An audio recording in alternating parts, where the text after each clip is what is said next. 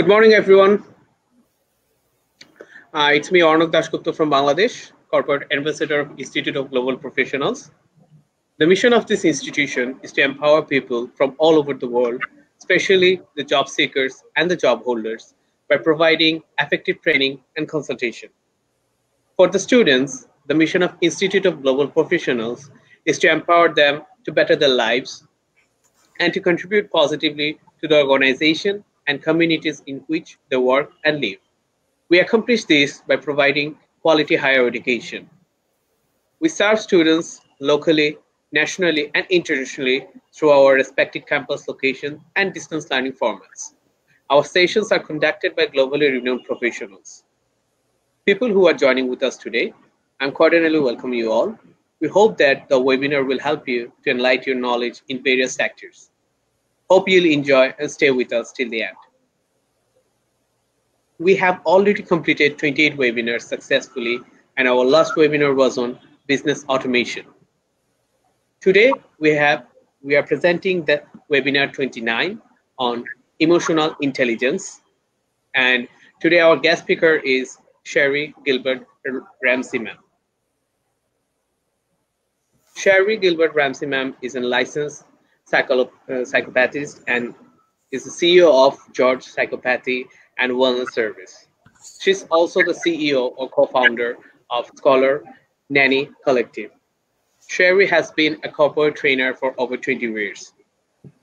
Sherry Gilbert Ramsey, also known as CSI of Self-Discovery, utilized her 20 years in law enforcement and 14 years as a licensed psychopath, psychotherapist to bring practical real world experience to her coaching, mentoring, and speaking. It's a fusion of first-hand experience and knowledge of the human mind that lead her create her coaching platform. The CSI experience that involves the use of critical thinking, analytical skills to, in, to investigate and assist others in the journey of discovering their true potential. If you have any question during the presentation, please write down in the comment box. We will try to answer them as far as possible. Today, we are happy to have her conduct this webinar. Let's welcome Sherry ma'am to the Institute of Global Professionals. We'd love to introduce our today's guest, Sherry ma'am. Hello, ma'am. Welcome in Institute of Global Professionals. Good morning. Good morning, everyone. Well, it's morning here. I'm in the United States. I understand it's evening where you are, but it's morning where I am. So, hello, everyone. I'm happy to be here. Today, I'm going to talk to you about emotional intelligence, but he did a very good job of introducing me. But I'm going to just tell you a little bit about myself. First of all, my name is Sherry Gilbert Ramsey. I am a licensed psychotherapist, and I have been for the last 14 years. I also was in law enforcement for 20 years and I had a chance to work in various aspects of law enforcement to include investigations um, and other aspects, community relations. I decided to become a psychotherapist and I am a licensed psychotherapist. I'm here in the United States. I'm located in the state of Georgia. And I specialize in family and children therapy. I have made it my life's mission to teach others about emotional intelligence and te- and I also do business coaching as well. And so with my business coaching, I like to teach people about themselves and and the most important thing you'll ever learn is learning about yourself because a journey of self-discovery is it lasts a lifetime and it's probably the most important journey you'll ever take. So let's get right into emotional intelligence. If you have any questions, please drop them in the feed and I will try to answer them as soon as possible.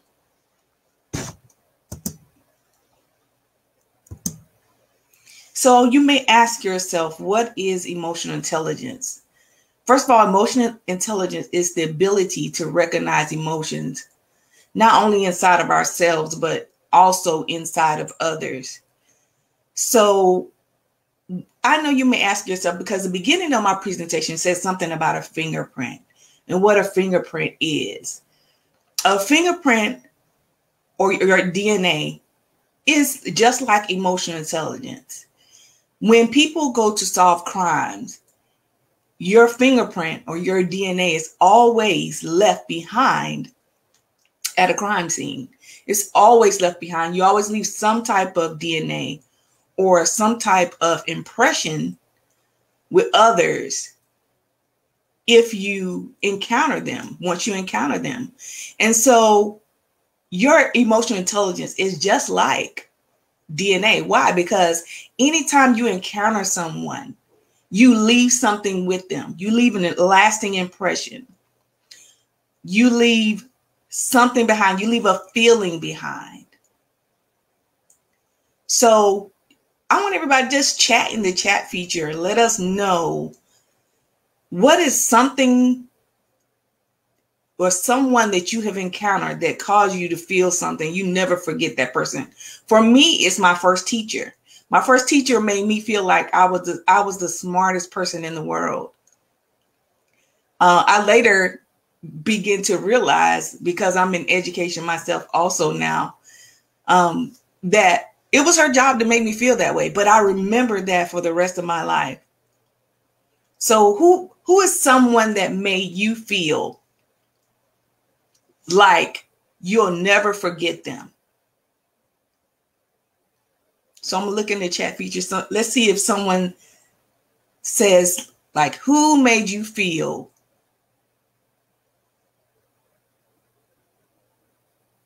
Okay, I'm looking. Okay, so I'm gonna keep going because we're gonna we're gonna ask a ask questions at the end as well. So your emotional intelligence is a, lasting impression that you leave behind, regardless of who you come in contact with. And it's the most important thing that you'll leave behind. Um, what makes a successful business? We look at big businesses like Nike or um, Samsung. We look at a lot of big businesses, and there are a lot of businesses that are similar, meaning they're very equally successful. And the reason why they're successful equally, even if they have the same products, even if they their clients are the same, is because they're both unique. And they have both created a unique fingerprint, a unique um, brand that people can love. I like, I don't know if you know about Adidas or Nike, but those those shoes, you think about both of the two shoes. They're both equally successful. And they both can be equally successful because they're both unique. I have both in my closet. I look in my closet, I have both. And both of them are equally successful. So, why do we need to learn about emotional intelligence? First of all, because 75% of all careers are derailed within the first couple of years because of emotional intelligence. We know that in business, we build we build people. We don't build businesses. We build people. And the people that we build help build the business. And so emotional intelligence is the most important aspect of any career or business and any relationship that you will encounter. Emotional intelligence is very, very important. Why is it important? Like I said, it's as unique as a as your DNA, is unique as a fingerprint. It helps you to stand out from other businesses, other people, and it helps to you to leave a lasting impression. Our ability to interact and relate to others is directly connected to our ability to not only identify, understand, but also being able to manage our emotions. Until we master understanding, identifying, and managing our emotions, we cannot be effective leaders. We cannot be effective collaborators. and we cannot be effective in our relationships. And we also have to be aware of our own strengths and our own limitations as it relates to emotional intelligence. So, emotional intelligence is just like self discovery. I know you heard at the beginning that I deal with self discovery. And emotional intelligence is a lot like self discovery, and it's a it's a ever learning subject that you're always going to know more about. You're going to learn more about yourself. You're to lo- learn more about others as you go throughout life. So I'm going to ask you to ask, tell you, ask you in the chat feature. Can anybody tell me somebody that made you remember them that left a lasting impression in your life? Can anybody tell me who made a lasting impression in your life? Let me see if I can see in the chat feature if anybody can let me know.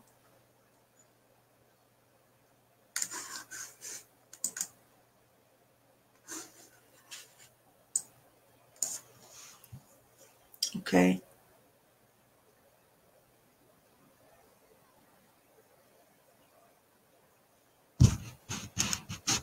Okay, someone say emotional intelligence knowing and understanding others' emotions. Somebody say emotional intelligence is self-discovery. That's correct. Someone said emotional intelligence is about handling personalities and self-discoveries. Correct. That's how you know if you're emotional intelligent by discovering yourself. Someone said a little girl almost at, at an age of nine that they can remember someone who made a lasting impression. Somebody said a classmate. Someone said their teachers in elementary and high school. Someone said their parents. Someone said their advisor. Someone said they remember their elementary teacher before because of unfair treatment of her learners. Yes, we can leave good or bad lasting impressions. All impressions are not good, some are bad someone said students, my father. Someone said their father was their first karate instructor.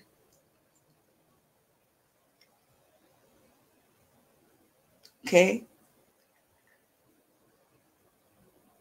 See if I see any others. Okay. Wonderful. So we all know that there are people in our lives that come in our lives and leave those lasting impressions with us. Someone said their music teacher. We still have comments coming in the section and said someone said their music teacher. Um, someone said their father again. So there are people who stand out in our lives. So Maya Angelou said, I've learned that people will forget what you said. They'll forget most, almost all of what you say. They will forget some of what you did. People will forget some of what you did. But people will never, ever forget how you make them feel. They will never forget how you make them feel. And that's why emotional intelligence is so, so important. So, this unique fingerprint that I am talking about and that we are going to talk about today makes up our emotional intelligence. So, what makes up our emotional intelligence? And it makes us stand out and makes us unique and makes us leave a lasting impression. First of all, is self awareness, self management, mindfulness. We have self compassionate, self care, communication, and social awareness. These are the seven principles that help us stand out, helps to create our emotional intelligence, and help us to be unique and helps us to understand not only ourselves, but understand others. So just looking at this, even if you don't know anything about emotional intelligence, you can probably look at this chart and identify areas of strength and weakness for you as far as what you may need to work on or what you're already good at. So just looking at this chart, if you can chat in the chat feature, just let me know what area would you like to more more sorry, what area would you like to know most about today? What area do you think that you want to know more about today? So, out of these seven, what area would you like to know more about?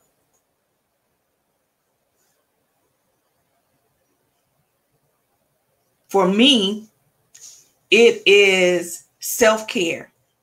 Someone said communication. Okay.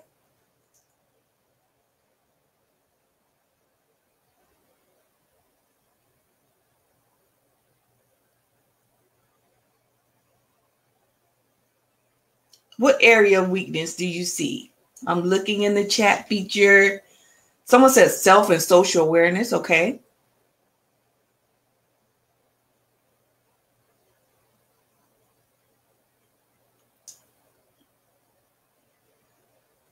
Anyone else see any other weaknesses? Someone says they want to know more about self management.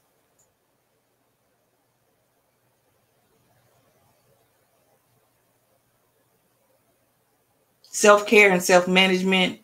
Self care is a big one for people to know more about that because we we often take we're often taking care of uh, everyone else that we don't think about ourselves.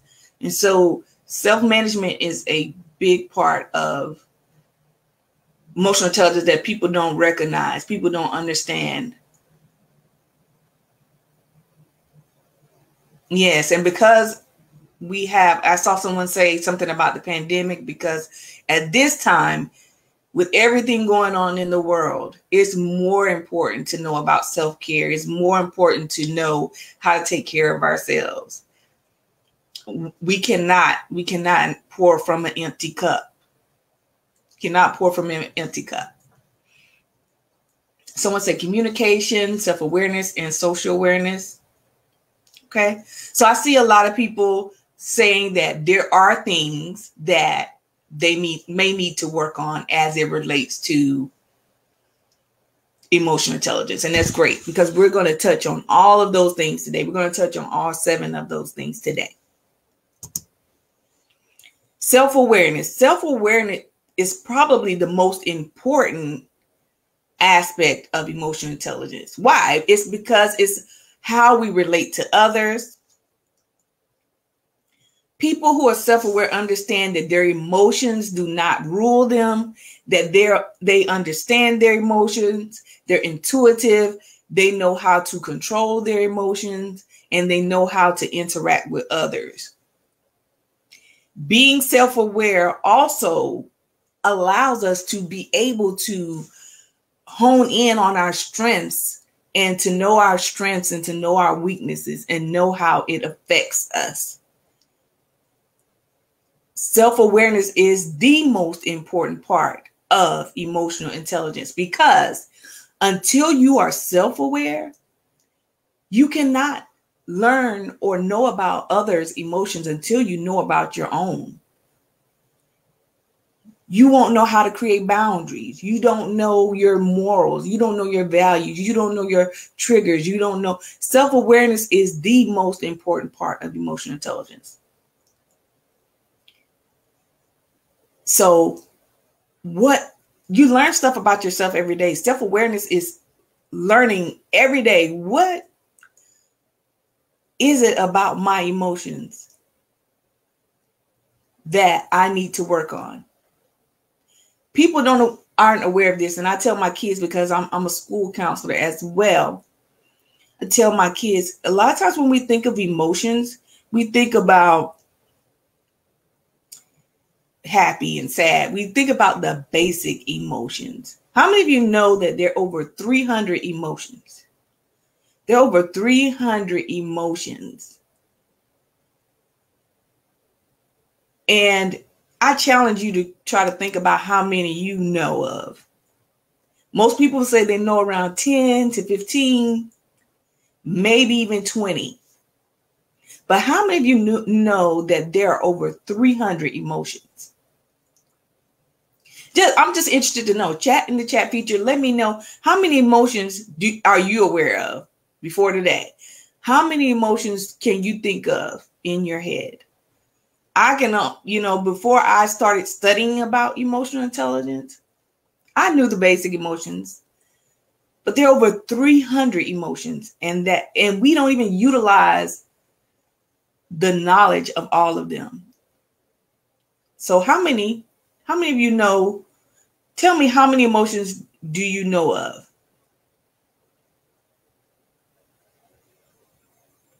Someone says it's their first time knowing. Someone said no, they didn't know that there were over 300 emotions.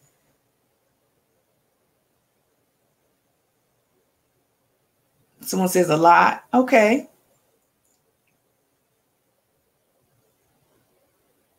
Someone said they know about 50. That's a good number. 50 is a good number. Yes, there are over 300.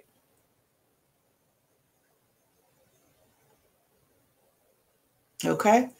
So good. We all know about emotions. We may not have known that there were over 300, but we all know that there are emotions and we know that we need to be aware of them, especially in ourselves. So, how can we gain awareness of our emotions? First of all, we can keep an emotions diary. I challenge you to look up how many emotions there are. Look them up and write them down. Keep a diary every day of how many emotions you go through. We go through about 30 to 40 emotions a day. Can you imagine? A person goes through about 30 to 40 emotions a day. From the time you wake up in the morning to the time you go to sleep at night, you will experience between 40 30 to 40 different types of emotions. Um, you may wake up, you wake up in the morning, you feel good. You're going throughout your day, everything is going great. Um, you may get a phone call that morning that you got to go into work. You thought you were off, but your boss calls you and say, "Hey, we need you to come into work." So you go from feeling happy and restful, thinking you're going to be off, and then the next thing you know, you're going to get called into work, and then you feel stressed, you feel um, nervous, you feel frustrated, you feel anxious, you feel all type of different types of emotions. Or you may wake up in the morning and you think you're going to get rest, and then they say there's no school today, so your kids have to stay at home with you today. So you thought you made we're going to get some rest, and you can't get any rest. And then something else happens throughout the day. And then something else happens throughout the day. And then you go to work and then you you get a reward at work or recommendation or a commendation. Someone says, good job. Someone gives you praise and you feel good. And then you may speak to your spouse and something else happens and your spouse may be upset with you. And so you get sad or you get angry. And so you go through this tug of war of emotions all day long all day long you go through this tug of war of emotions. So it's important to learn and know what those emotions are. And the first part of knowing and learning about those emotions is being able to write them down in a diary. How many of you have diaries? I mean, I'm interested to know how many people keep diaries and actually write in them.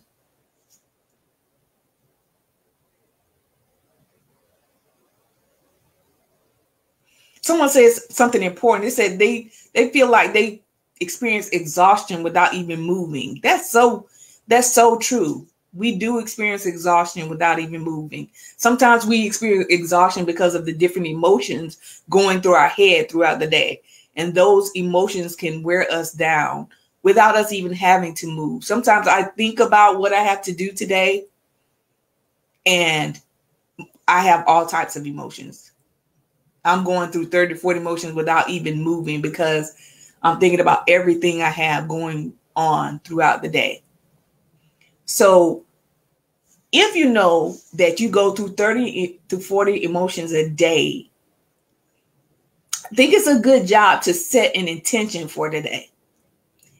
And what is an intention? An intention is setting a goal for your day. So you know how your day, you want your day to go. Because believe it or not, when we set an intention, most of the time that's how our day goes. If we say, Today, I'm going to have a great day. No one's going to throw me off. I'm not going to get angry today. Not going to feel sad today. I'm going to have a good day.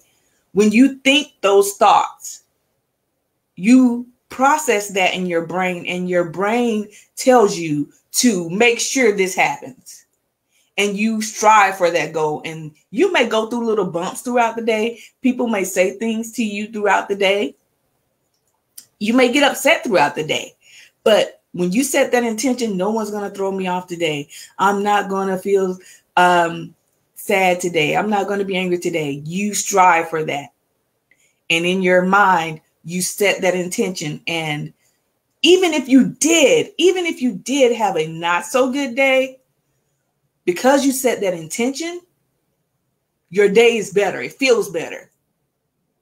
Even if you're sad, you don't notice it. Even if you are angry, you you work through it. So someone said they their diary is listening to music. I love music. I love. I saw see someone. Miss Adina said positive affirmations. I love positive affirmations. Someone says they write poems. I love writing poems as well. Sometimes I write poems. Sometimes I write songs. Those are great ways to to express those emotions on paper. someone says they've written paper and put in a jar. I have a jar as well in my house. I call it a blessing jar. And when good things happen to me, I write it down. I write it down and I put it inside my blessing jar.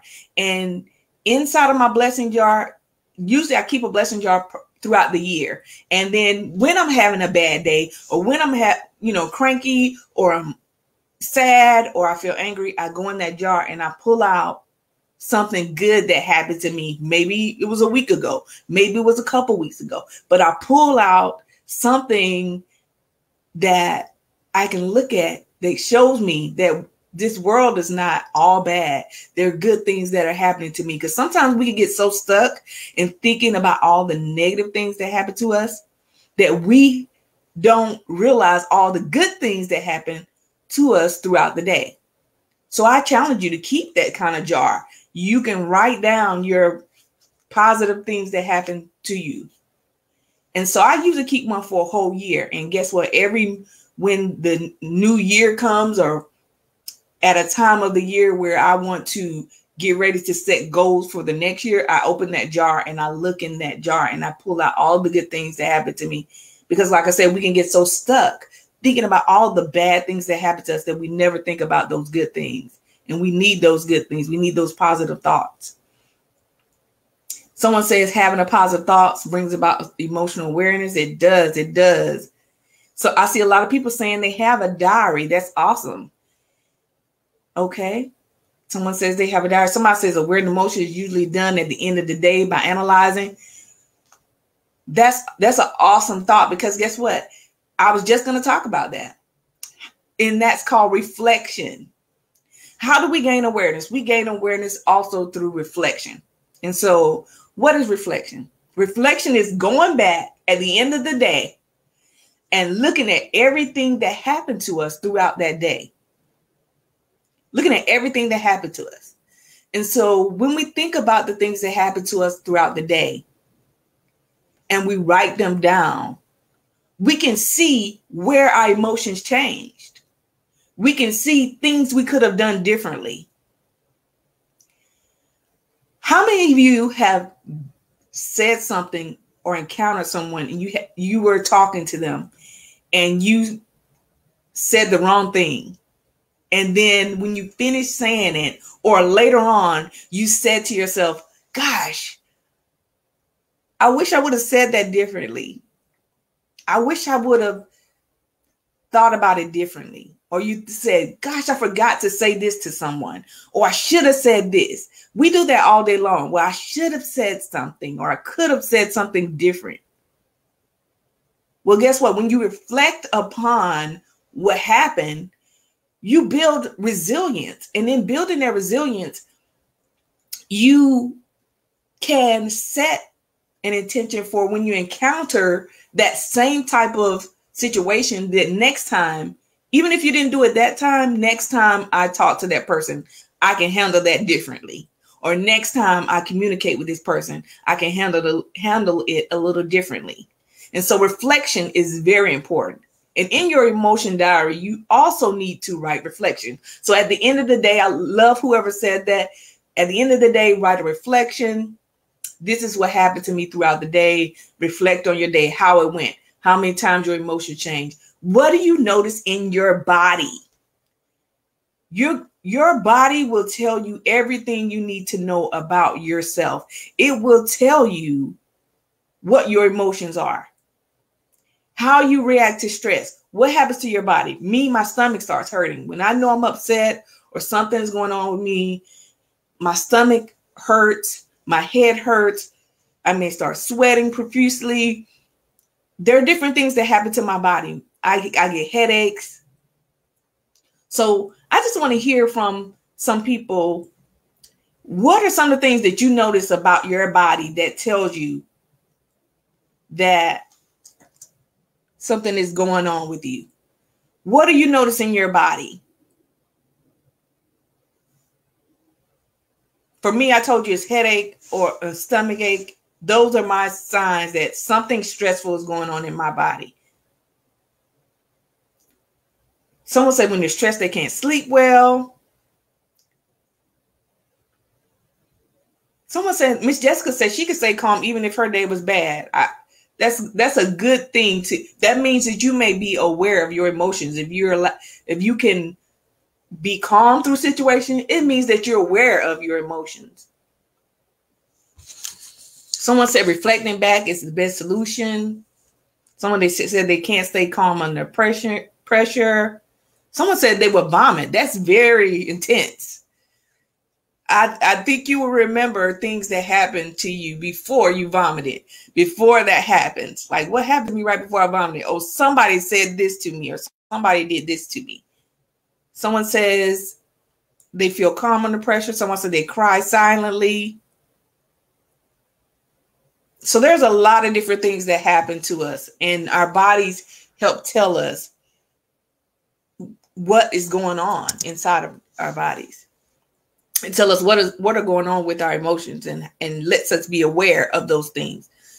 So once we know for a fact what those emotions are by keeping that emotion diary by reflecting once we know what those things are and how they can affect us then we can self manage and then we know what to do to help us manage those emotions. Okay, now we know the emotions.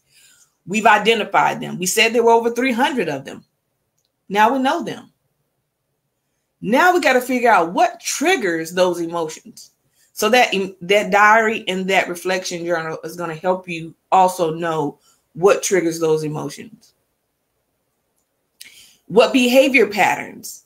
Do you notice the behavior patterns that happen when you get angry, when you get sad, what when you feel that emotion, what are the patterns?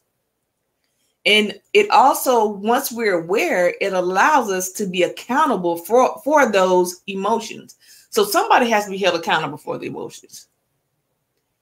So we have to hold ourselves accountable because sometimes people are not going to tell us what we're doing. And so it's important for us to know and hold ourselves accountable when dealing with emotions. So, how can self management help us? First of all, self management help us helps us to have productivity. If you're angry at work or in your relationship or at home, or if you're just angry in general, it it decreases your productivity. You can't work, you can't think, you can't do anything because you're so upset that you're thinking about everything else. And so it, it in order to maximize your productivity, you must know self-management skills. It helps improve workplace performance. If you know you work with someone who may not you may not get along with, you know how to either avoid that person or deal with those emotions.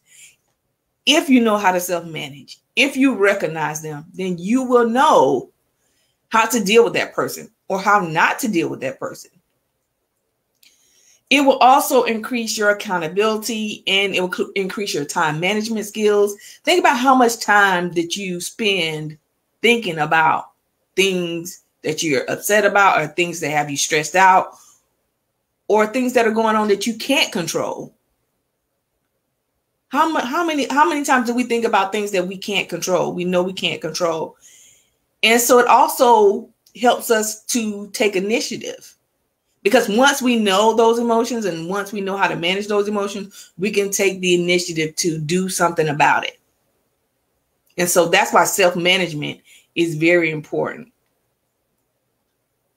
So, can anybody tell me do you know your own triggers? Are you able to recognize your triggers? And if so, what are some of your triggers? I want to see if some of you know some of your triggers.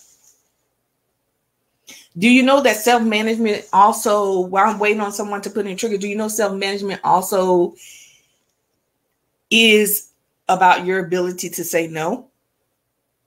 Because if you know that a certain person or a certain thing triggers you, you may need to avoid that situation. And so, can you say no? Do you know how to say no? So let me see. Who can tell me what triggers them?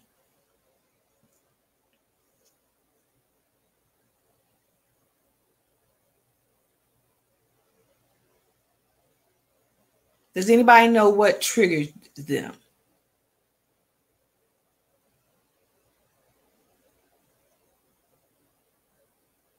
Someone says they get scared that's a good sign that you know what triggers you. If you get scared, you know what happens to your body when that happens. Someone said, My triggers are brainstorming. Someone says, when they get criticized.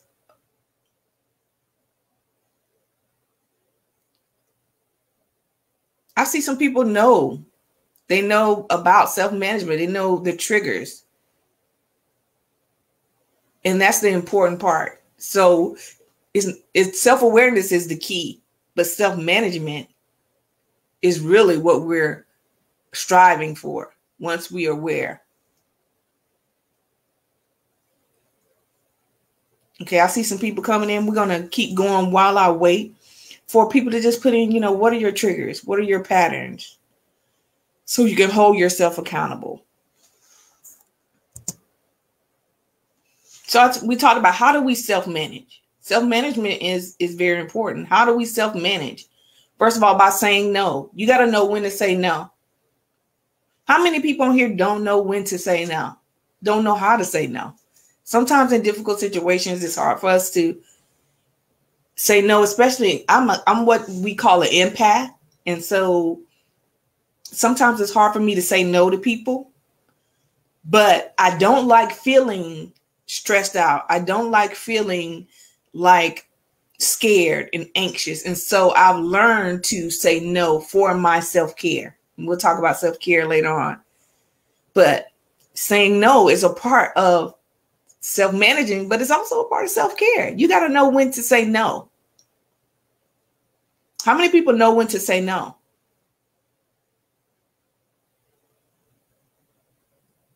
Someone says they know how to say no. Pay attention to self talk. A lot of times when we're going through different emotions, it's not the things we say, but it's the things we say to ourselves inside our head. Sometimes we can talk ourselves up, meaning we can escalate a situation. When I'm talking about conflict resolution, we can escalate a situation or we can we can decrease the situation. We can we can um, bring that situation to a point where we can handle it if we know the negative self-talk that we say to ourselves inside of our head. And so that takes also reflection and being aware of our weaknesses. What do you think being aware of our weaknesses has to do with self-managing? What does being aware of our weaknesses have to do with self self-management? Someone says it's hard to say no, but we must learn to do it. I agree. It's something that we have to do for ourselves. Someone says, I only say no if I cannot do anything.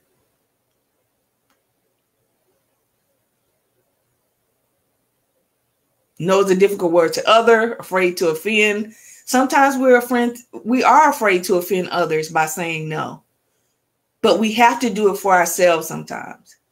Sometimes it's imperative, sometimes it's necessary for us to be able to say it. And it is hard to say it. You have to practice saying it. And the thing about it is, you have to practice saying it without explanation sometimes. We're always so used to saying no and saying, no, I can't do this because of this, this, and that. And when we do that, do you realize that when you give a reason after you say no, then you give that other person room to we'll go back in and say, "Oh, well, oh, you can't do it because of this, but I can do that for you." Let me give you an example. If you say, "No, I," if someone asks you, "Could you go to the store for me?" and you know you don't have time to go to the store for that person because you have so much to do, you have your own things to do, you have X, Y, and Z to handle, but you say, "No, um." Well, I can't go to the store because I'm really supposed to uh, pick up John from work. That person might say, well, you know what? I'll get somebody else to pick up John so you can handle what I need you to handle. So when you say no and then you give a reason, you give a person the ability to overstep your boundaries because no is your boundary. No is your boundary that you've set. And when you say no, but, or no, I can't because, you give someone the opportunity to overstep that boundary. So let me look in the comments. Someone said telling someone no is the power. That's your power. That is your is your power. Saying no. Um, positivity is the best in situations. Okay. Someone says they feel guilty. Yes, you will feel guilty sometimes if you have to say no.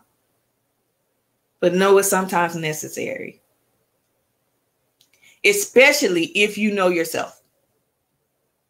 And and we talked about accountability because accountability is important.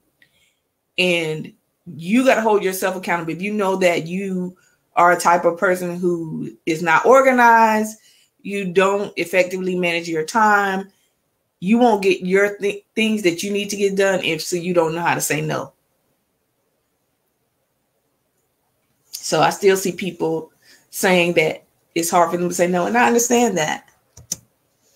So what happens when we let negative talk or our emotions, because sometimes we're not aware of those emotions, we're not aware of that negative self-talk what happens when we let it control us?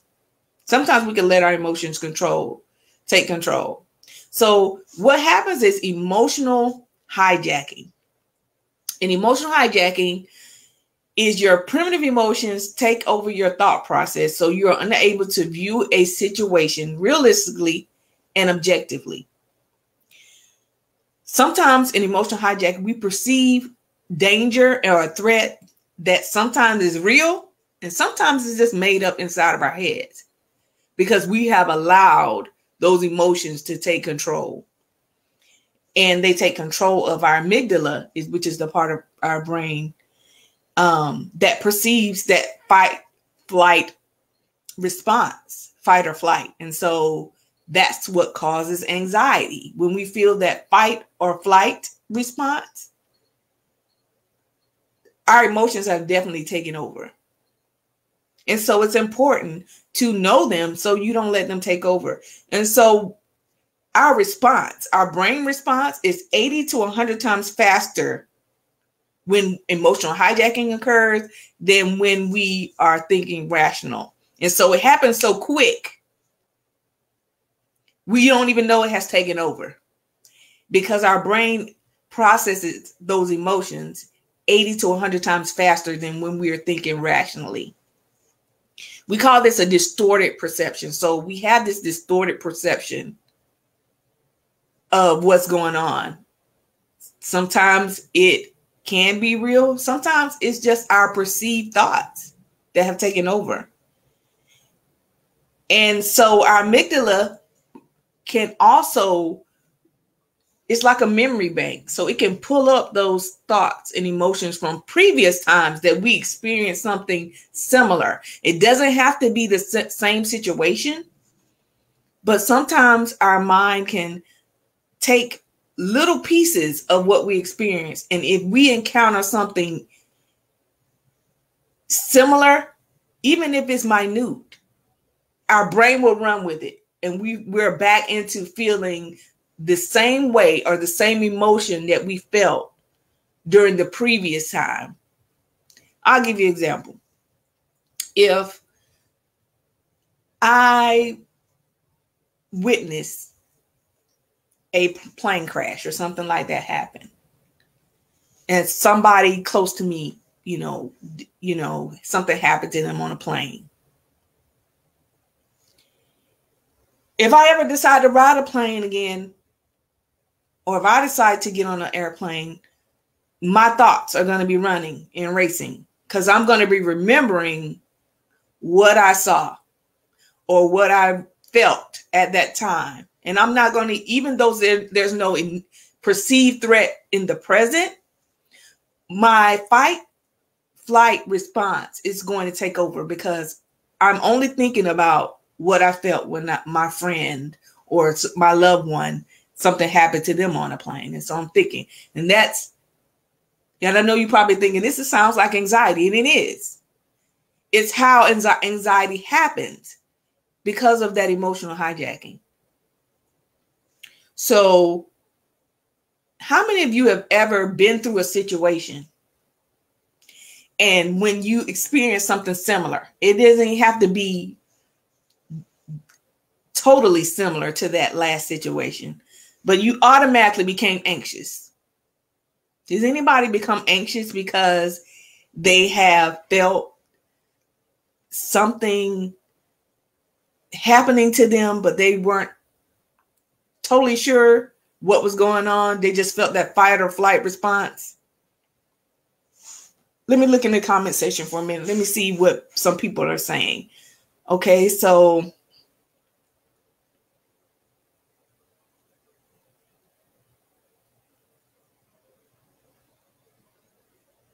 Some people said they analyze other pe- person's perspective. I see some other comments. Somebody sometimes they have the gift of feeling how others feel. Sometimes if you're overly empathetic. Someone said sometimes I become sensitive to others' needs. Someone said no, depending on the situation.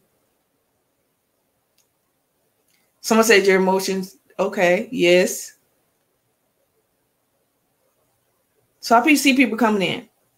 So emotional hijacking is very important to understand because once you are aware of the emotions, you know your triggers, you will know how to control those emotions. So emotional hijacking does not occur. Social awareness. So, how do we become more socially aware?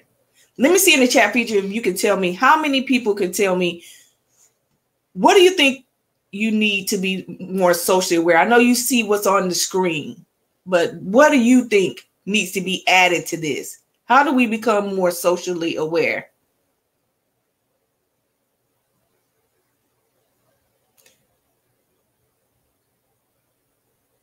Someone says they sympathize and empathize with others.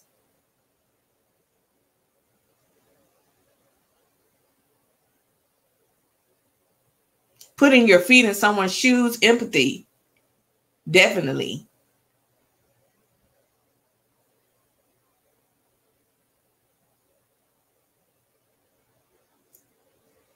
Someone says it's human management. Yes, it is. Social awareness is human management.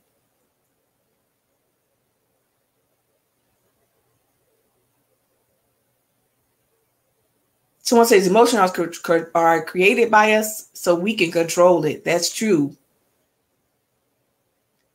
Um, empathy and sympathy are very important parts of social awareness.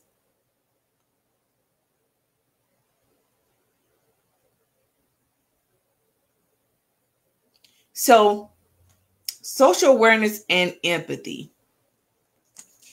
Social awareness, first of all, allows us to accurately read situations and people because it helps us to understand and empathize with people. So I don't know if I told you at the beginning, but I know you I told you I worked in law enforcement, but I worked in hostage negotiation as well. So we use something what we call tactical empathy.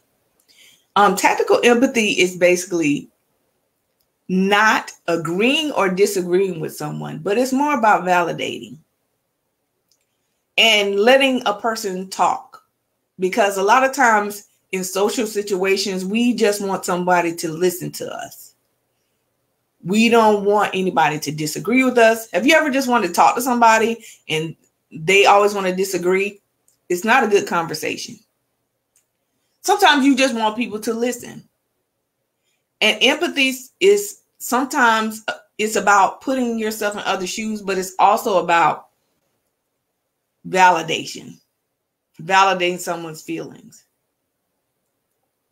Social awareness is also about knowing your biases. And so, in order to know how you're going to react to something or know about your what emotion you will invoke during a situation, you got to know, you have to know about those biases. You have to know what are your likes and dislikes? What are your stereotypes? What are things that you were told that may not be true? What are things that you are told that you know are true, but you still act upon them? And also, what are your boundaries? What are your colleagues' boundaries? What are the people around you boundaries? And so social awareness is grounded in our ability to recognize and understand the emotion of others. So we know about our emotions, we know how to manage our emotions. Now we got to know how to know about the emotions of others. It allows us to pick up on those social cues and to be in tune with the needs of those around us. Social awareness is important in relationships, any type of relationship, in business, in life, in your personal relationship. It's important to be aware. This allows us to show empathy, set boundaries, and we it helps us to understand the intent behind someone's actions. So, how many of you ever, when you're talking to somebody, how many of you ever think about why they did something or why they said something? We rarely do that, right? We rarely think about the intent of someone else.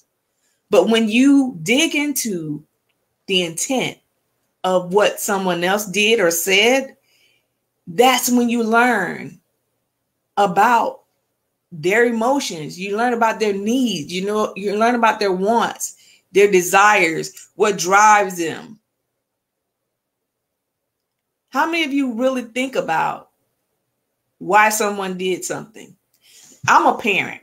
I have a, a son so as a parent, I always say to myself, why did my child do this? Even when, especially when he does something that I know that I didn't teach him or you know, I can't figure out why he did it. I'm always thinking to myself, why did he do that? What caused him to do this? How many of you have employees? How many of you think about why your employees do certain things? This is all a part of social awareness. I'm gonna go to the chat feature for a minute. Someone says setting boundaries is important.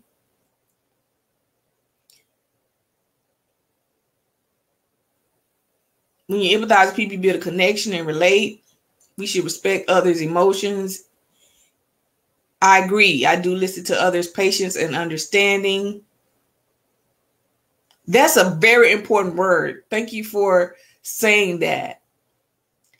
Understanding. I see Mr. Joy say understand. Understanding is of importance. And we'll talk about that when we get to communication. But understanding, not only putting yourself in someone's shoes, but understanding. Someone says, I listen others with patience and understanding. I see a lot of people saying about understanding. Okay, someone says they listen, showing empathy to others important. Great. So we know that social awareness is of the utmost importance because it helps us to not only know more about ourselves, but about others. It's called it's relationship management. And that's important in all aspects of life. It's in, in romantic, in your romantic relationships, in your friendships, in business, in life, and in social awareness, there are three C's, and they are very, very, very important. The three C's are communication, compromise, and commitment. So if you remember that when it deals with social awareness, you'll be you'll be very successful. Communication, compromise, and commitment. How many of you take the time to understand someone else's point of view before trying to persuade them about yours. And we'll talk about that in communication as well. Sometimes we're not we're we're not into that social awareness. So sometimes instead of and this is between empathy and communication. So sometimes you don't have to understand someone else's point of view. But as you talk to them, if you listen for understanding, and you just listen to understand instead of persuade, you will learn what their emotions are. You will learn what they're trying to tell you. They will give you the blueprint to understanding them if you just listen instead of trying to persuade. A lot of times when we communicate, we communicate to get someone to understand our point of view instead of understanding their point of view. So listening to understand and not persuade can be hard. I'm interested to know how many of you can do that. How many of you can listen to understand and not persuade? Even if you, especially if you don't agree with someone's um, morals or values or standards, but you're just listening to understand them, understand their emotions, but not to persuade them. Someone says, I strongly is, is good to provide comfort zone to others. Someone says they're self-motivated. Someone says they have a great deal of self-discipline. We need to listen and understand their point of view. Yes. Listen their partner understand.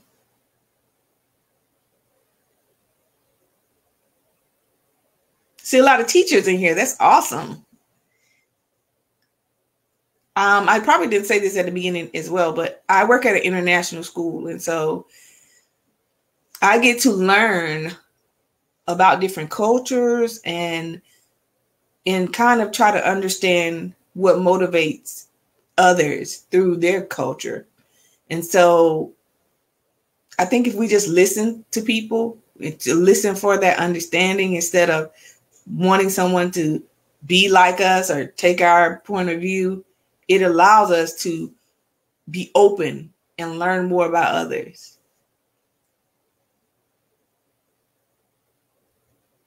Listen to understand is a difficult thing to do, but I would try to improve.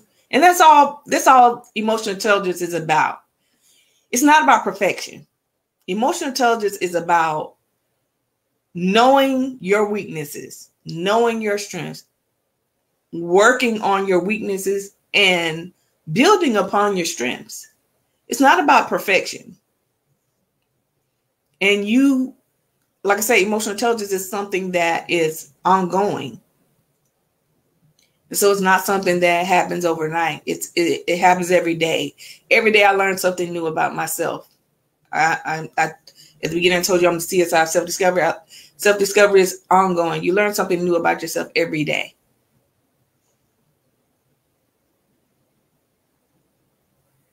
Okay, someone says listen to understand and not persuade. That's exactly what I was saying. Okay, great. Someone says how do you engage with senior colleagues who lack social awareness?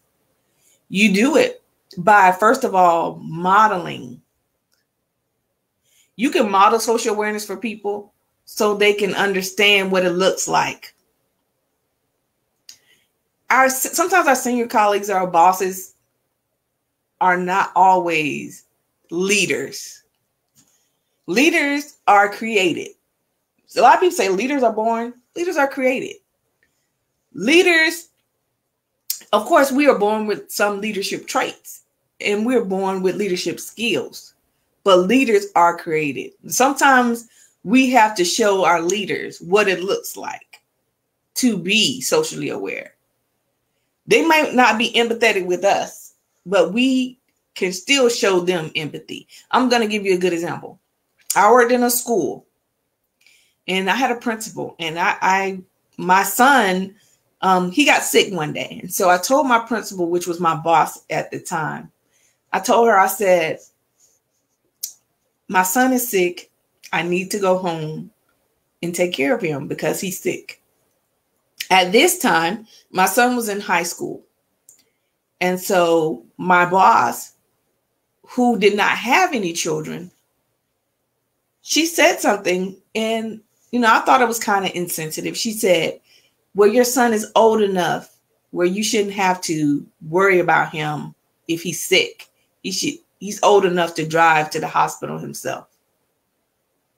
And I was upset when I first heard her say that because I was like, to me, that was very insensitive. And I was like, she doesn't have kids, so I know she doesn't understand because I'm listening for, I'm trying to be more aware of what her intentions are and why she said the statement she said. So I recognize that she does not have a, you know, she was she was a single lady. She did not have any children. She did not understand that your children are your children. If they get 50, 60, 70 years old, they're your children, and you're going to always have that nurturing spirit and take care of them, regardless of their age. So I understand she didn't understand that. So a couple weeks later, her cat died, and she was very upset. She didn't come to work. She for a week. She was very upset because her cat died. I could have used that moment to be like, you have taken a week off because your cat died when I told you last couple weeks ago my son was sick and you were not sensitive to that. But I did not do that. You know, I still show her empathy because I wanted her to see what it looked like. I told her, I said, you know what? I'm sorry your cat died. I gave her a card, you know, and said, you know, I'm sorry your cat died. If there's anything you need, let me know. And she was, it kind of changed her view of me because I had to show her, even though she was my senior, even though she was my boss, it was up to me to show her what empathy looked like. She wasn't aware of that. Even though she was a leader, she never was taught empathy. And so sometimes we have to show our bosses what empathy looks like. Let me go to chat. Sometimes I get irritated, easily in stressful situations. Leaders must recognize weaknesses of followers and be one of a good example. Yes, sometimes it's up to our leaders to be good examples, but sometimes they don't know. Because sometimes they choose leaders based upon seniority and things that have nothing to do with their ability to lead. And so sometimes we as employees, sometimes we have to show leaders things. And I don't know how many of you have employees yourself, but it's important to do what we call a a um, a survey to find out what is the culture in your business. If you are an entrepreneur and you own a business, or if you have employees, even in your marriage, you can do the same thing to figure out what is the culture, meaning how are things going? Are they going great? What can we do better? What can we do to build upon the skills that we already have? What do we recognize as our weaknesses? Like I said, this can be done in business and in your personal life. A culture survey.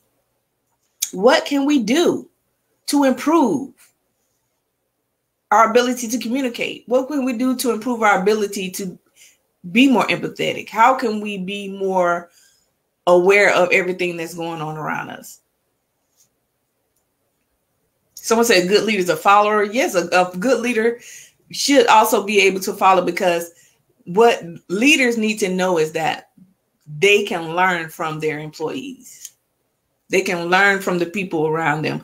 Everyone has something to bring to the table. At our school, our international school, every year we adopt a a phrase that we want to embody our culture and our atmosphere for the year. And for the last two years, we ad- adopted Ubuntu. Ubuntu, I am because we are. We all have something to bring to the table. Everybody's voice is equal from the leader to the lowest man on the totem pole. We're all equal. We all have something to bring to the table. Someone says when you're stressed, you're irritated. See a lot of comments coming in. Good. Someone says they get irritated if they're stressed. So we have to work on that stress if, if you're irritated because it can affect your ability to be aware of others if you're irritated. Um, someone said a good leader is a good listener. Definitely. Definitely a good leader is a listener.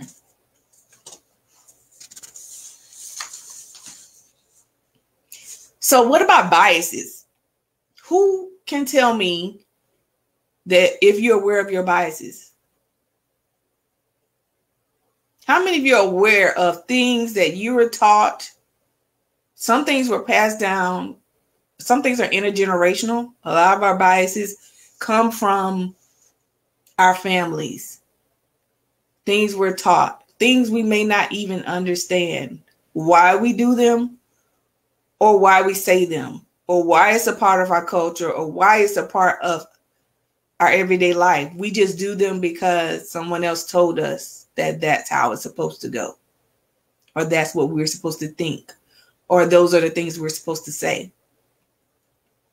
So, how many of you can tell me what your biases are? How many of you are can recognize your biases?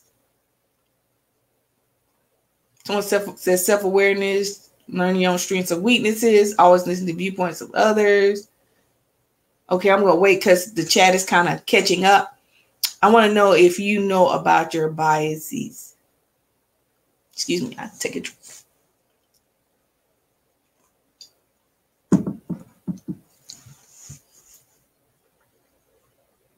Someone said always always listen to other viewpoint can contribute.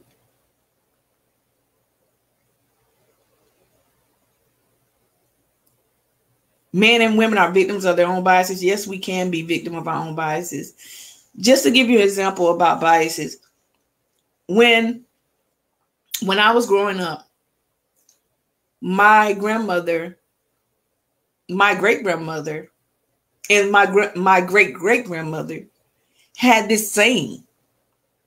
And the saying was don't let the light, meaning the street light, beat you home.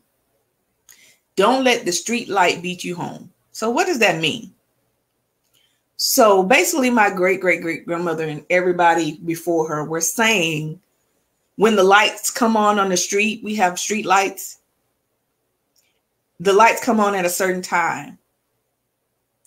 When the lights come on, you should be home. Why? Usually because the lights don't come on until dark, until it's completely dark outside. It may not even be late, but they come on on their own and they come on at night. So that was our way of timing people and telling, you know, children when to be inside. Don't be outside after dark. Basically, that's the saying. But my grandmother and her grandmother and her grandmother phrased it as don't let the porch light, don't let the street light beat you home. So, what does that mean? For my great great great grandmother, I'm sure the reason why they came up with that, which is be home before dark, is because in those days, their slavery was alive and rampant, and you just did not want to be outside of your plantation if it was already dark because you belonged to someone else at that time and you needed to be where you're supposed to be and accounted for. Now, my grandmother told my mother this as well, or my great grandmother told my grandmother this. Now, slavery was not in the days of my grandmother. So why did her grand grandmother tell her that? Her grandmother instilled that in her. And so when my grandmother was coming up, it was the days of the uh, Ku Klux Klan or KKK, which were um, Nazi extremists and different extremists, and and they did not want her to be outside during that time. So they would tell my grandmother, be outside, don't let the street light beat you home. So I'm sure that's why they told her that. Now, come to my mother. In the days of police brutality and things that are, were going on here in the US, they told my mother the same thing. My grandmother told my mother, don't be outside after dark. Why? Because, you know, police would stop them. My mother got stopped by the police several times when she was a young girl. Um, so things would happen. So that was something that was passed on to me too. Now I haven't experienced the things that they have experienced, but that intergenerational trauma has been passed on, and those biases have been passed on from generation to generation to generation. So, what biases have you experienced or has been passed down to you through intergenerational um, traumas and different things that happen to your ancestors that you don't even realize that are biases, but you do them because you were taught that.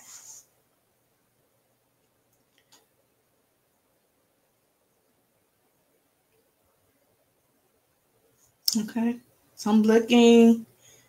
Anybody understand or recognize their, their biases? Someone say come on before dark still exists. It does still exist we just don't have to deal with some of the things that our ancestors dealt with, but it does still exist. And we still tell our kids to this day be home before dark or be inside before dark.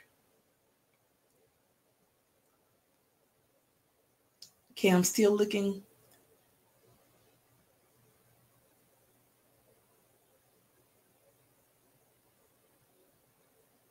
Okay, so nobody knows about their biases. Um, okay, so we'll move on.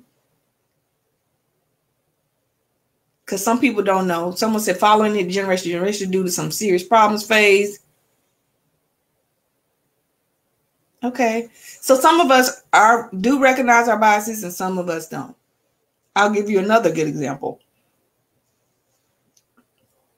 I my grandmother used to we have something in America called Thanksgiving and every Thanksgiving we we cook a turkey. Well, I don't. There's a long, drawn out reason why we cook turkey and all that, but I won't explain that. But I will explain that every time my grandmother got ready to cook her turkey, she would cut the turkey up and put it in a pot. Now, some people cook their turkey whole. Some people cut their turkey up before they put it in a pot. But she would cut hers up.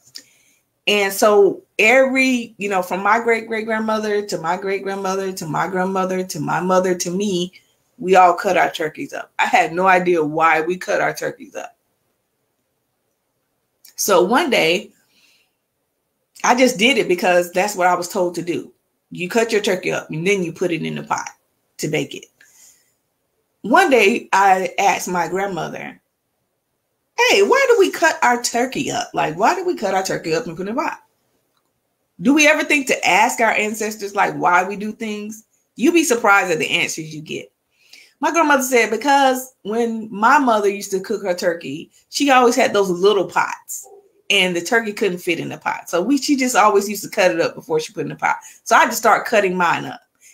And this has been passed on from generation to generation. We've been cutting our turkeys thinking that's how you're supposed to do it, how you're supposed to cook it, and not even realizing that that's just something we were taught intergenerational that came down, and we don't even know why we do it. So it's important to know about those things that are passed down to us. And you might you you need to know that there are 12 different kind of biases. And we always need to learn how to set boundaries. Setting boundaries allows us to communicate our expectations. When we set boundaries, it communicates our expectations to our children. We have to set, just like we set boundaries for children, we have to set boundaries for our employees. We set boundaries at work. We set boundaries with our spouses, our husbands, husbands and wives. We set boundaries because those are our rules and expectations, our values and our morals. And it's important to set those boundaries so people can respect them. Not only that, but you want to understand others' boundaries. Because if you overstep people's boundaries, you're not socially aware and you will create friction in your social relationship. So it's um, important that you ask your friends, people that you respect, and people that you love, understand their boundaries and don't cross them. Seek out their boundaries. Ask them if they don't tell you, you will notice them in their actions. It's important to know about people's boundaries. Okay. So, how do we become more socially aware? First of all, listening. If we listen more to others, then we can be more socially aware. We talked about those boundaries. Verbal and nonverbal cues will help you understand those boundaries. You can look at what somebody says or does, or you can look at the reaction, their body language. You can look at their body language and tell like things that are going on with them. Once someone says our boundaries are the rules, okay, great job. Age just a work life, personal balance. Someone said social awareness focus on recognize and understand others' feelings.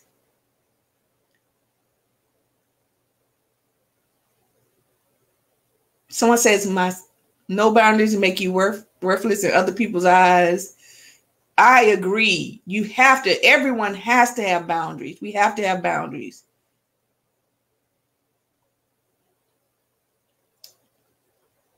Someone said nonverbal communication is louder. Yes, your nonverbal communication speaks louder than your verbal communication.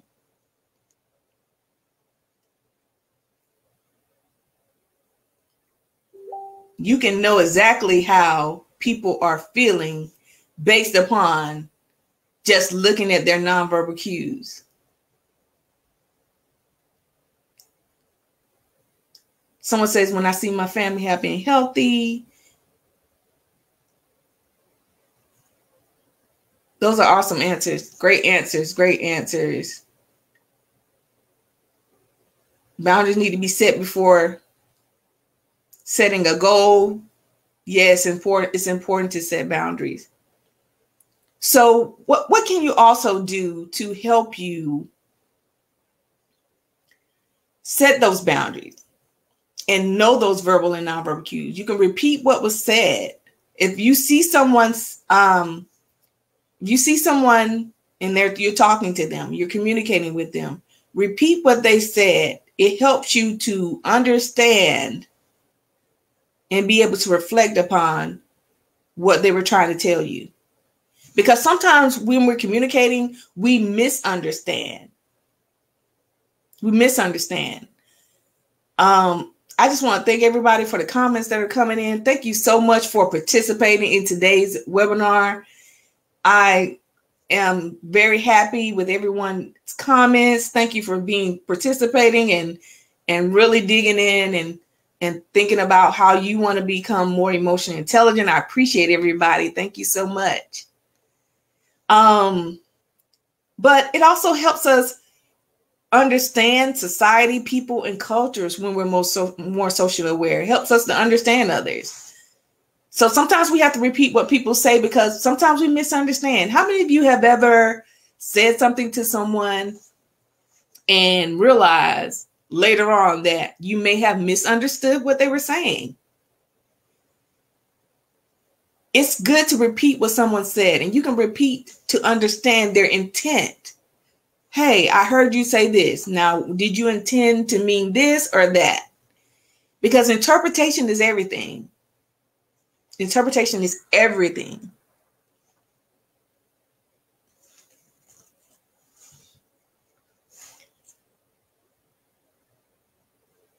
And I think I'm going to skip something. Hold on one second.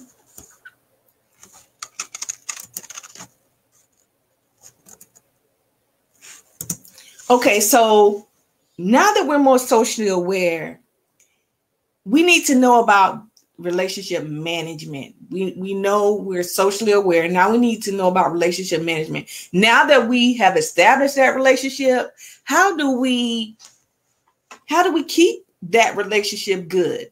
How do we develop trust? How do we handle difficult behaviors? How do we engage with others? Once we establish that relationship, we have to keep the relationship going. Um, if you have a client base, if you're a client based business, or if you have employees, know every customer, know everyone, not just your regulars. Relationship management is about building your customer base, knowing everyone, building trust. A customer or client does not care what products you have what services you have, or what you're selling until they know you care. I'm going to repeat that. A client or customer does not care what products you sell or what services you have or what you have to offer until they know that you care. And so relationship management is important. How do you deal with difficult behaviors? How do you deal with customer complaints? Is going to be important. How do you deal with others' difficult behaviors? You have to deal with customer complaints just like you have to deal with if you have a spouse at home, if you deal with your children, you have to do it with patience. You have to establish that trust. And they have to know that you care. Um, you so many businesses collapse because of customer service based issues. Because a client or a customer is looking at how well you're handling situations when when it becomes difficult when there's conflict. This will determine if a person is going to do business with you again or if they're going to wash their hands and they're not going to deal with you anymore. How you handle them in that difficult situation. And it's going to make the difference on whether or not they recommend your business or give you a good review or work, recommend your business to others engagement is par- paramount in any relationship. It's the important part of the relationship. Thank you everybody. I see those comments coming through. Thank you. Um, so how do you build that trust? By knowing all your customers well learning their needs. You're learning their emotional what drives them what draws them to you. You're going to learn um, what happens when they have difficult behaviors. How do you how do you handle them do you handle them with patience and understanding? Um, and give them that customer service that they need? Are you engaged with them? Someone said, listen and show you're willing to understand. Someone said, yes, okay. Communication is the key. Communication is the key. Great. Engagement is the important part of the relationship. We want to build trustworthy Yes, we want to build trustworthy relationships. So, how do we improve our relationship? First of all, we must accept and celebrate differences. I told you I work at an international school. It's very important when you're improving your relationship. You got to accept and celebrate differences. We are so easily um, into tolerating. Sometimes we just tolerate differences. We need to accept and celebrate those differences. We need to learn to give and take feedback. How many of us can take criticism? I saw a couple people earlier saying that that was some of their weaknesses that they can't take criticism. It's hard sometimes to hear the bad stuff. Sometimes it's hard to hear the difficult stuff. But we need those things so we can be able to improve upon our relationships. So we can build that trust. So we can be proactive instead of reactive. When we improve on our relationships, we know hey, you know, I know I said something to my wife. I looked at her body language. I understood that something was wrong with her. Now let me go talk to her. Let me communicate with her or let me communicate with my husband so I can figure out how we can move forward or better our relationship. Be proactive. When you improve upon your relationship, you can be more proactive. And it also allows you to be able to validate Validation of others' feelings has nothing to do with our own feelings.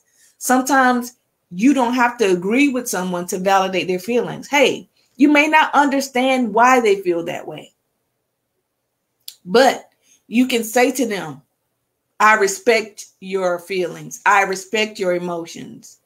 I respect what you're telling me.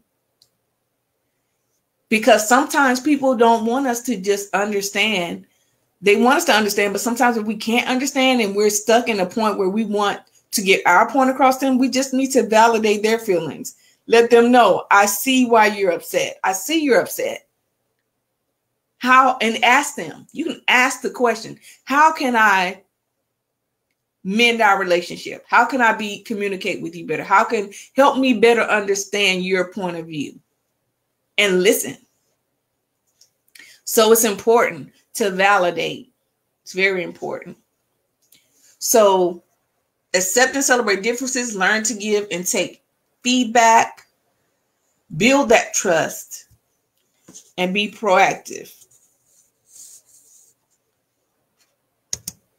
Communication. Let's talk about communication for a minute. Communication, first of all, is understanding managing that conflict and also involves empathy as well. By understanding your emotions and how to control them you're better better able to express how you feel and how others feel as well. It also helps you to influence persuade and connect to others. Communication helps you to influence persuade and connect to others and that's important. So communication helps us manage the conflict and it helps us develop that empathy. So let me go to the chat. Everyone said, um, thank you so much. I see people saying that this is helpful for them, um, that this webinar is insightful. Thank you so much. Thank you so much for joining. Thank you so much for participating. Someone said compliment is part of validation. Do it once in a while. Don't be passive. Yes, I agree. I agree. It's a big help. Okay, somebody said this is a big help in both personal and professional development. Great. I hope everyone's during during this time um, that everything is going on in the world. I hope that everyone is working on their personal and professional development. It's very important to work on your personal and professional development. So, how can we improve communication? First of all, the power of pause. Do you know about the power of pause? The power of pause involves how many of you get ready to send a text message or get ready to um, write something? Or you write something or a text message and you send it to that person. Especially with now that we have social media, now that we have um, text messaging, emails. We may write something and send it to them and realize, oh my God, I did not like how that sounded. you realize I do not like how that sounded. How many of you sent something to someone and realized after you sent it that it did not, it was not reflective of, of how you really meant to say it or how you really felt? I know I've sent the text, uh, I sent the email to my boss one time, and after I sent it, I was like, oh no, I can't believe I sent that. Because after sitting and thinking about it, once it was already sent, I was thinking to myself, I could have said that in a different way. I could have said that in a more positive way. And so we must take the power of pause before sending messages or talking or any type of communication because the power of pause allows us to think before we speak, think before we act. That pause. How many of you received an email or a text message from somebody, and once you looked at it, you got upset or you got angry? And then you, after you read it a couple times, you were like, "Oh, well, I don't think they meant to say this. I don't think your interpretation changed because you took the time to look it over. You took the time to think about it. I know a lot of time when I have looked at things, um, I, my cousin sent me a, a, text message a while ago, and when I first looked at it, I was upset. I was immediately upset. But then I said, I'm gonna before I respond, I'm gonna sleep on it. So I waited. I was not gonna respond that same day. So the next day morning, I woke up and I read her text message again, and it sounded totally different because I wasn't in my emotions. I wasn't thinking about my emotions. I just read it with fresh eyes. And reading with fresh eyes allowed me to see things from her point of view without taking it emotionally. So someone said, right, think before we act. Very important. Think before I understand that barriers communication is one way to improve. Someone said they sent a message in the group chat, the next day they realized and discussed it with their friend. They realized it was too harsh. Yes, so it's important to take that power of pause. That's why it's important to take that time because sometimes we don't realize our brain is moving at the speed of lightning and we, we don't realize till later on that we could have said something different or did something different. So the way to improve that communication is take that time. You don't have to answer a text message or an email or chat message or anything. You don't have to answer it right then you can wait. Take that time to think. Take that time to learn about intent. What what what are they intending to say to me? As the receiver of the message, what are they intending to say to me? What is my interpretation of the message? What was the sender trying to say? What do I want to what message do I want to convey when I talk back to them? What message? What tone? What what am I trying to convey? Active listening. Pick up the phone. Sometimes text message, emails, all of the things that we have going on in today's society is too much. Pick up the phone and call someone. Because sometimes you'll understand that what we read is not sometimes what we mean and sometimes we misinterpret written language. And so sometimes it's best to pick up the phone. Why? Because over the phone, you can hear when somebody breathes, when somebody sighs. You can hear when they uh, say, if you know that person's emotion, if you're aware of that person's emotions, you can feel, feel, um, you can hear in their tone of voice, you can hear, pick up on those verbal communication things that you can't pick up on if you see something written.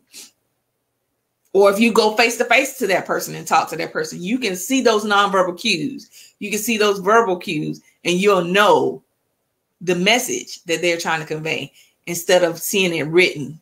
Ask for feedback.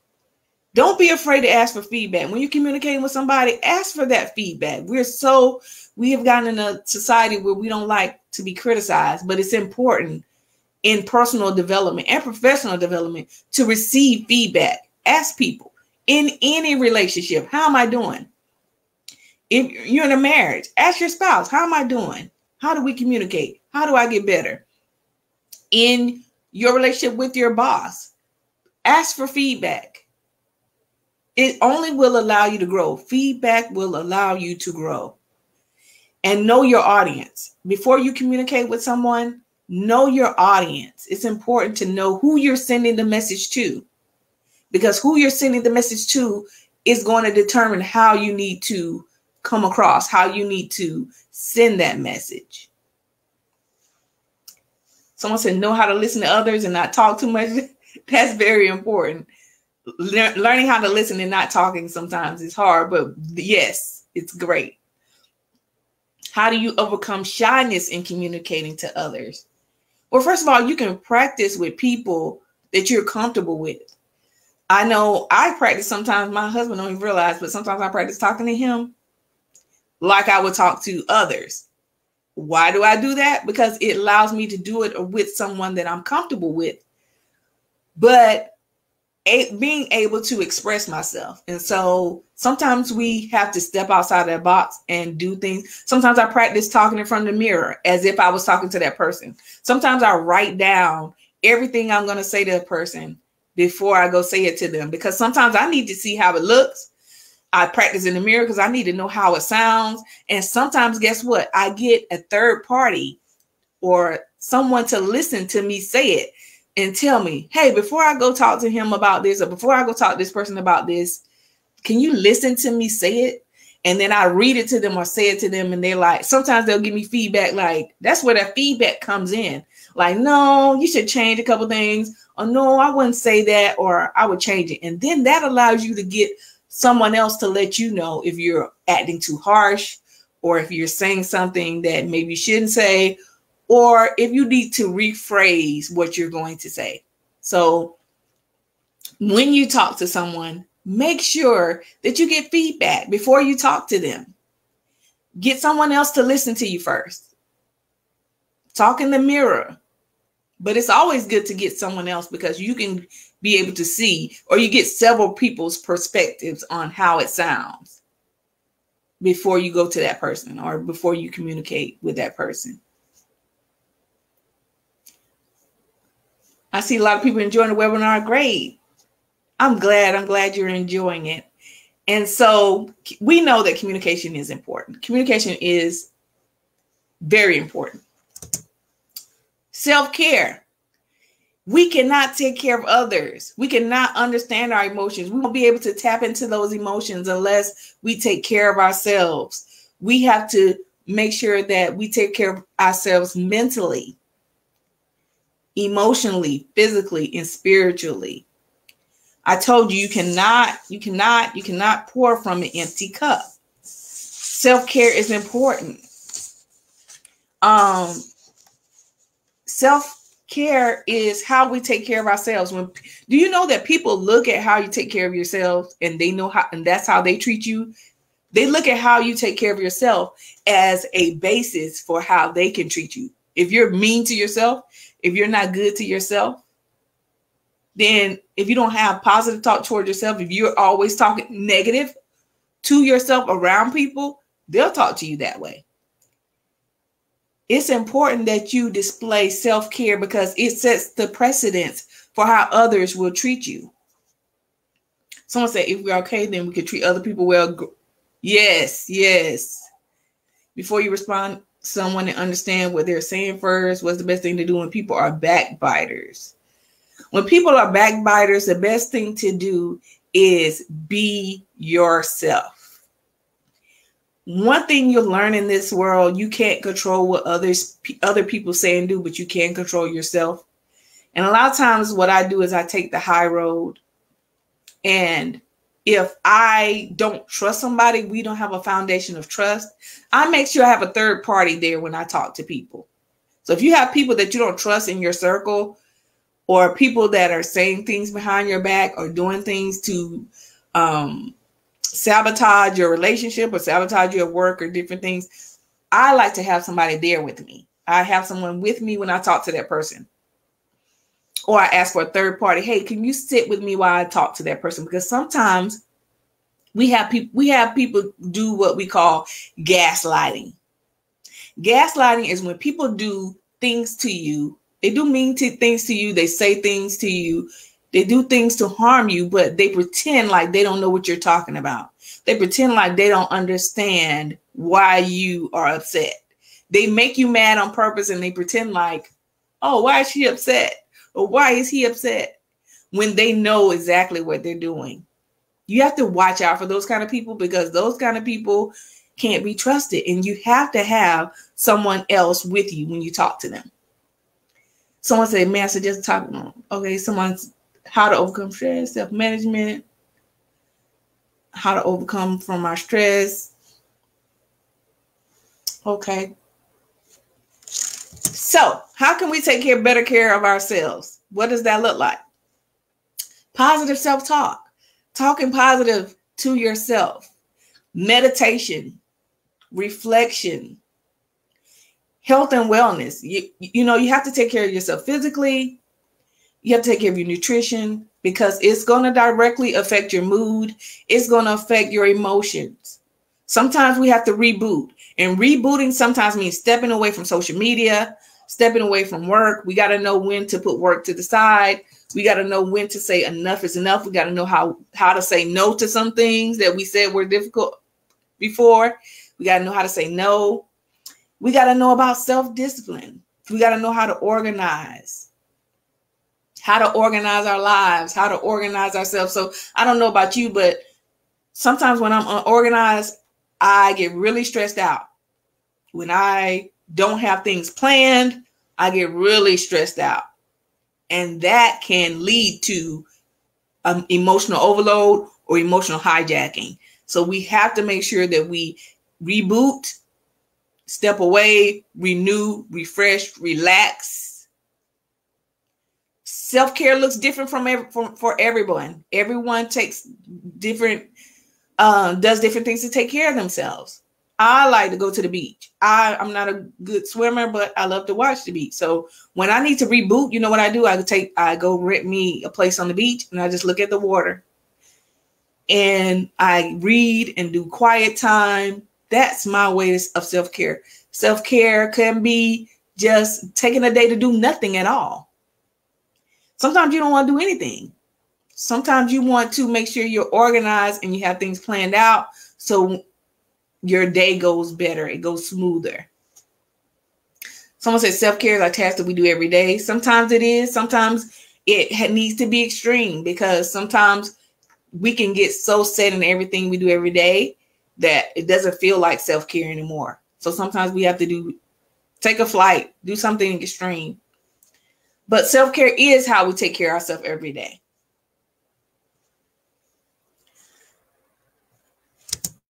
Self compassion. Self compassion is a very, very, very important part of emotional intelligence because when you learn how to forgive yourself, know that you make mistakes, then you will understand how to be more compassionate to others when you are self-compassionate you have better self-esteem because you're not worrying about what others think of you. You're not worried about criticism because you're able to take that criticism. You understand that what your weaknesses are. You understand where your strengths are. You're not living in that perfectionism because sometimes we could think that the world that everything has to be perfect. But when we have self-compassion we know that we're not perfect. We're imperfect people. We were made that way and we make mistakes. And we but we can do hard things. We can get over that hump. We can learn from those mistakes. We can do better next time.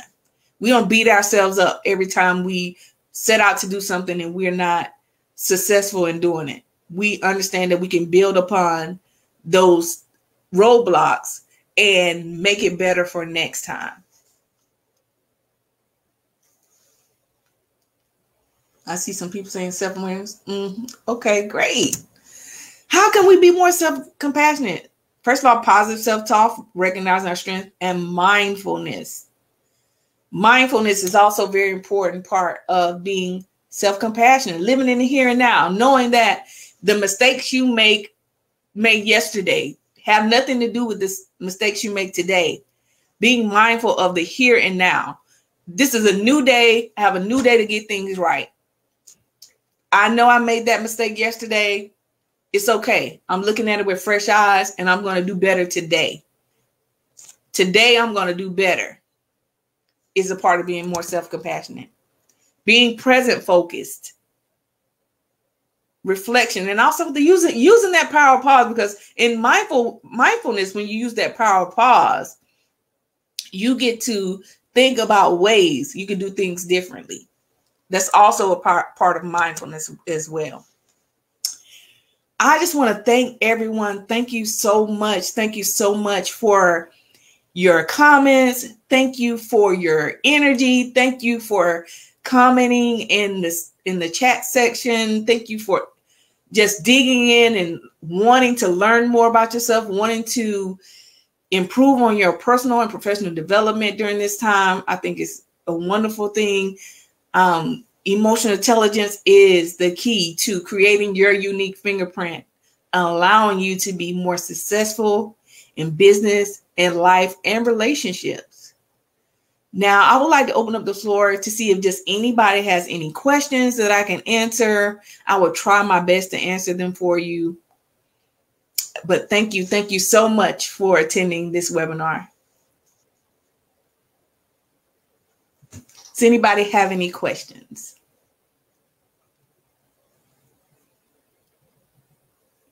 I see a lot of thank yous coming in. Thank you. Thank you so much.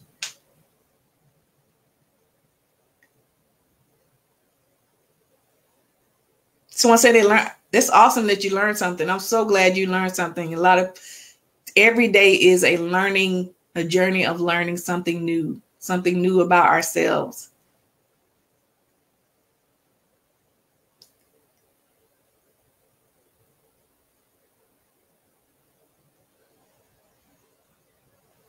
Someone said this webinar has improved how they're engaged with other people. That's what it's all about. That's what it's all about. Someone said mindfulness is humility, human ability to fully be present. Yes.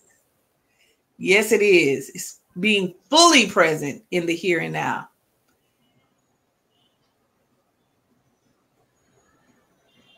Hello, ma'am. Yes. Uh, can you please stop slide share? Then you can uh, saw the question on your screen.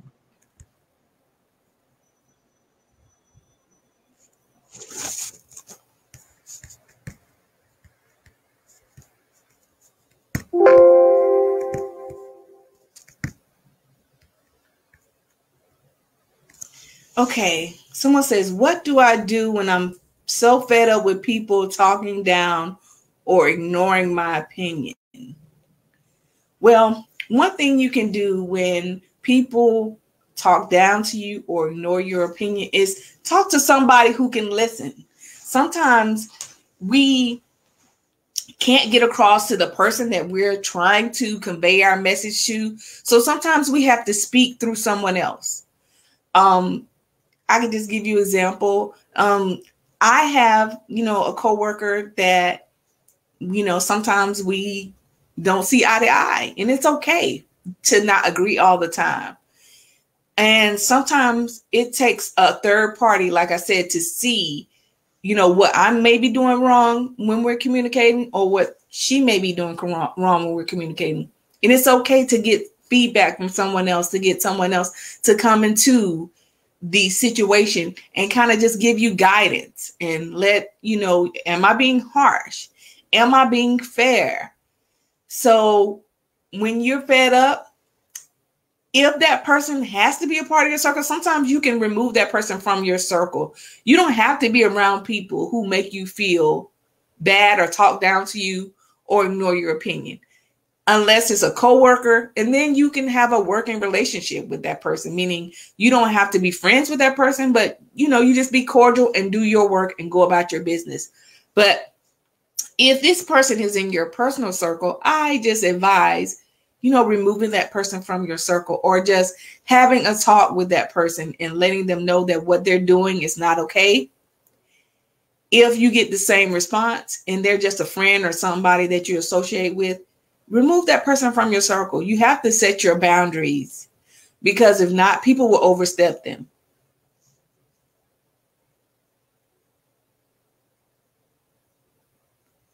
Does anybody else have any questions? When facing a difficult situation, how to reject a person requesting help from you without offending his or her feelings.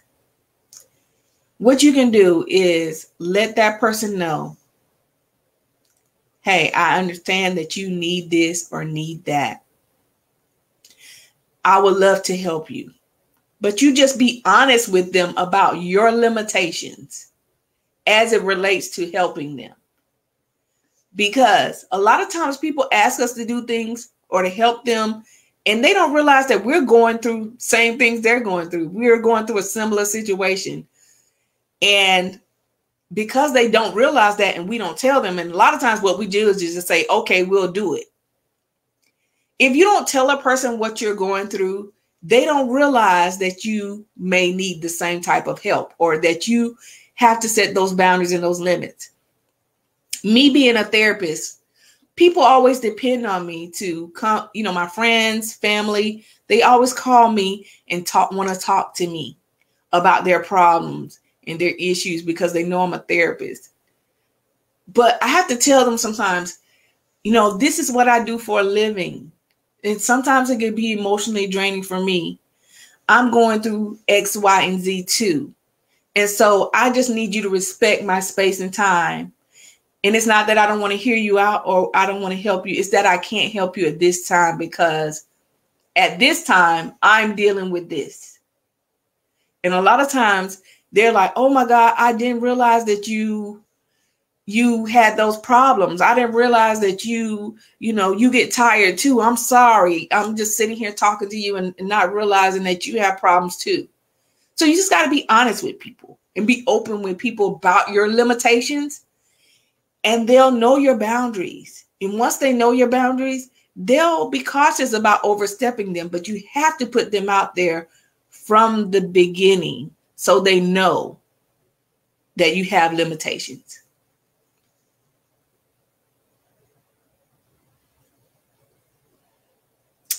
What to do best for our health, physical, mental, and psychological when the pandemic is over?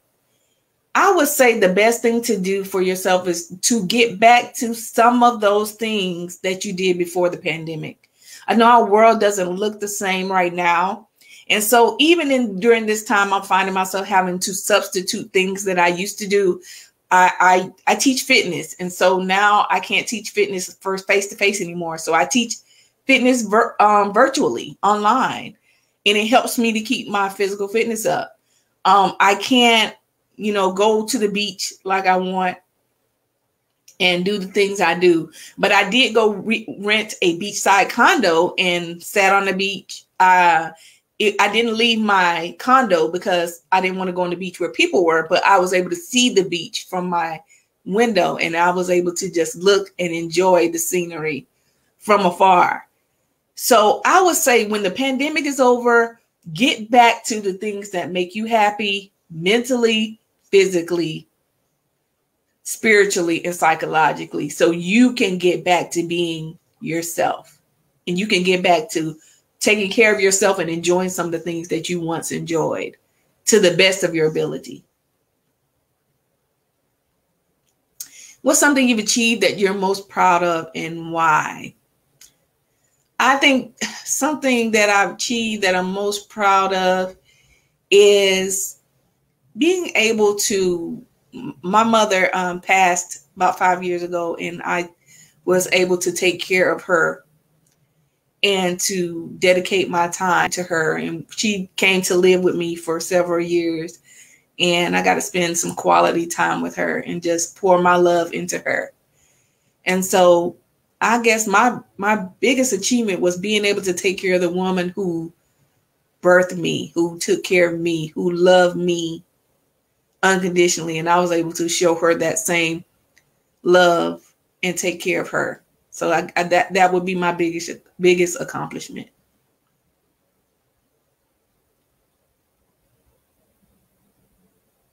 How to deal with hardships.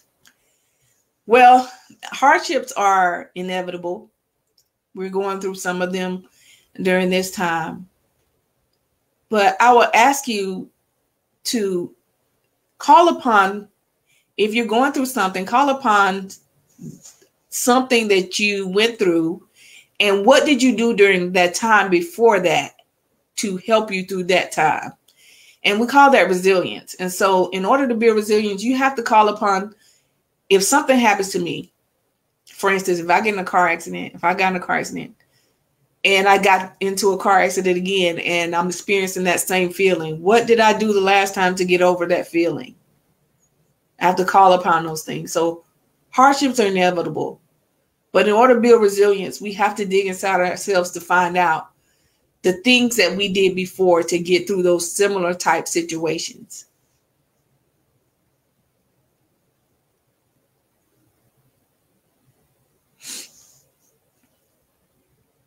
Is there any more questions?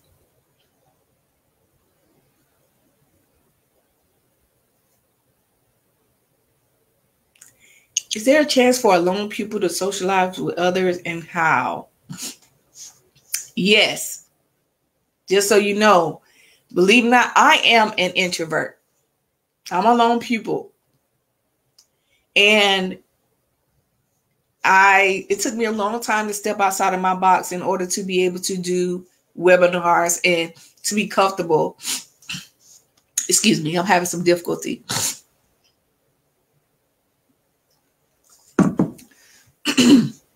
but in order to to to make myself feel more comfortable, I had to learn how to step outside that box. And I did that slowly. And it looks different for different people but there's always a chance. Start with just making one friend, building that trust, building that relationship, and then extend upon that into building relationships with others. You may just want to start out with us. I have a small circle, very small. I have maybe one or two friends, and that's fine with me. And I, I feel okay being alone. I feel okay not having a whole lot of people around me. So if that's just your your um, personality, then it's okay. But if you want to socialize with others, find common ground. Find what similarities you have with people and build relationships with those people.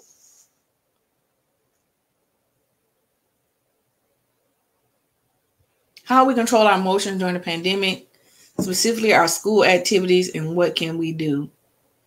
Well, how you can control your emotions is first of all you have to disconnect yourself from a lot of stuff that's going on during this time. Sometimes you have to turn the TV off. Sometimes you have to turn the internet off, turn the computer off, and do some of the things that you enjoy. Um, I've been reading a lot during the pandemic, and I'm not normally a reader, but I know that I can't always do some of the things that I used to do because those things cause me to have anxiety. And some of those things include watching TV or watching the news or looking at social media. And um at school school activities you have to be able to disconnect from some of those things when it's time. Um i try i work at a school too um but in order to separate myself from school activities i do what i need to do at school. And then when i'm not during school work or during school stuff i have to make sure i take time for me which means sometimes just doing some of the things I enjoy. And sometimes that looks like like nothing. Sometimes that looks like just relaxing. And that's okay. How do we overcome stress and self-management? Overcoming stress is is all about self-care and recognizing when you're stressed. So when we're able to recognize you know, when we feel stressed, like I told you, writing in that diary, feeling, figuring out your triggers, figuring out when you feel stressed, then you can manage those emotions and manage that stress. But you got to know, first of all, what is causing it. In order to help yourself, you got to know what is causing it. And once you realize what is causing it, then you'll begin to understand some of the things that you can do to help eliminate it or reduce it.